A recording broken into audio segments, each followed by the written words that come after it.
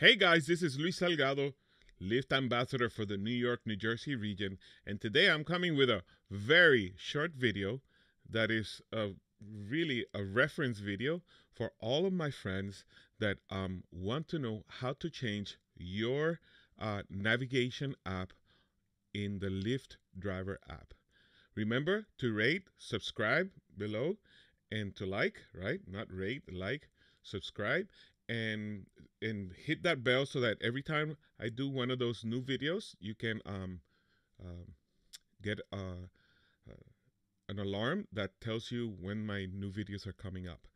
Also, um, if you haven't signed up to, to Drive for Lyft, or if you haven't signed up to Drive for Uber in that matter, or any of the other services that we offer, in the subscription below this video, you can find all the links for all the services that we offer in Lyfteando. So, um, so let's go quickly to this video. It's a quick video.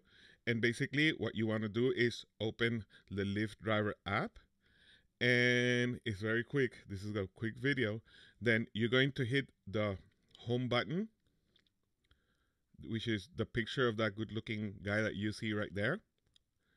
You hit that and then you go down one, two, three, four in the fifth category of that menu you're going to go and press on navigation. And you're going to see the options that you have for navigation. Um, in the it says as the heading it says navigation, but then down below a little you're going to see a button that says navigation, and you can press on that button right there. And in my case, it gives you Waze and Google Maps.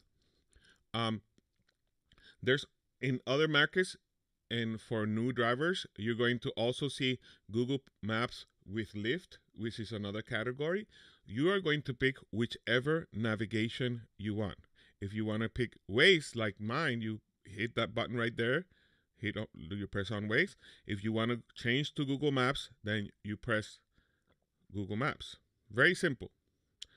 Um, in Lyft, we suggest uh, ambassadors and and Lyft suggests that you use Waze because Waze has connected APIs with the Lyft driver app. So all the uh, changes in um, in route, for example, when you're doing Lyft line, are going to be reflected immediately.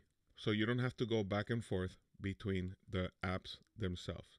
So you press Waze and then that's it. You're going to see that it says Waze, and then you go back to the home screen, and that's it. You're finished. So this is a short video explaining how to change navigation. Remember, subscribe and like down there, and I hope to see you soon.